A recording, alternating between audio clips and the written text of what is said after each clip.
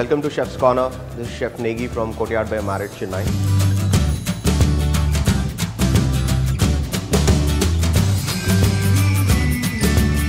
Today we will be making assorted tempura which will be having vegetarian and non-veg both.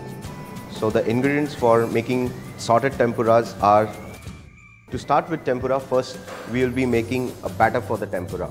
So we need 4 spoons of refined flour and the same I'll take corn flour then a pinch of baking powder. We'll add some chilled water to it. We just mix this. Keep one thing in mind that we don't want the batter to be very thin or either very thick. Now the batter is ready. We just keep this batter aside and we'll process the prawn trick to process the prawn.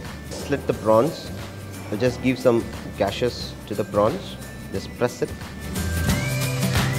now the prawn has become straight. We have cut the fish into finger size. We have some squids.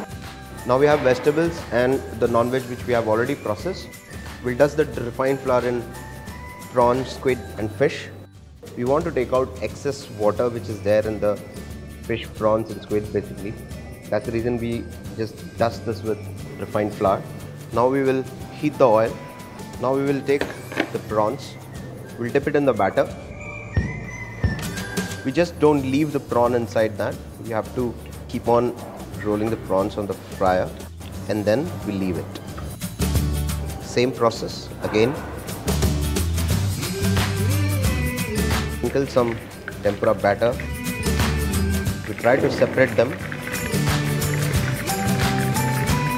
We fry it till it turns to a golden color we take out prawns, the non-vegetarian, tempuras. Fish, prawn and squid I have done.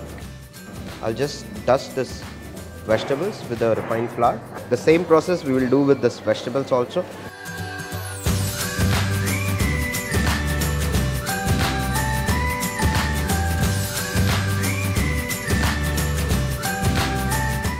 Just sprinkle few tempura batter on the vegetables. So now we take out these vegetables with the help of a chopstick. Now we'll make the tempura sauce. 500 ml of water. We add teaspoon of dashi, which is dashi no moto. 120 ml of uh, Kikkoman soya. 100 ml of mirin. We just give a one boil to it.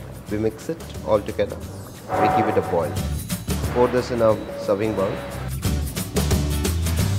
Assorted tempura is ready and you can serve it along with tempura sauce.